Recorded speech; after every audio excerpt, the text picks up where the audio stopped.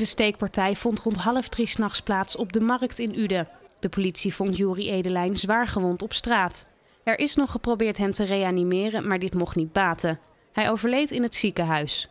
Wat er precies is gebeurd in het centrum onderzoekt de politie nog. We hebben inmiddels 15 à 20 rechercheurs op de zaak uh, zitten.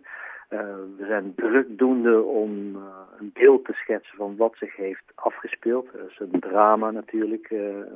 Ja, iemands leven is weggehaald, weggenomen met geweld. En wij, willen, ja, wij zijn drukdoende om te zoeken naar de dader dan wel daders. Waarom de Ossenaar werd neergestoken is ook nog niet duidelijk. Ja, dat maakt echt nog deel uit van het onderzoek. Op dit moment hebben wij ook nog geen uh, dader in zicht. Dus uh, wij zijn bezig met het bestuderen van camerabeelden. Wij zijn bezig met het horen van getuigen.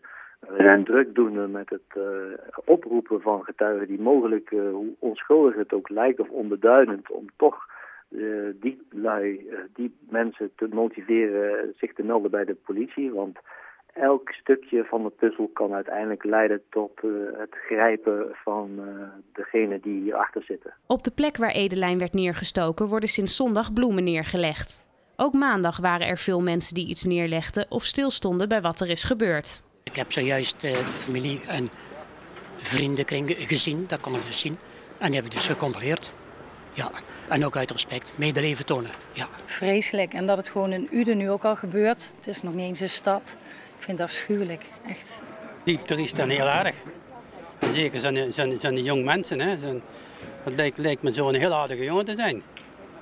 Dus en dat dan, ja, zoiets, ja, het moest gewoon niet gebeuren. Dat mensen dat überhaupt bij, bij zich dragen. Dus uh, ja, dat hoort gewoon niet.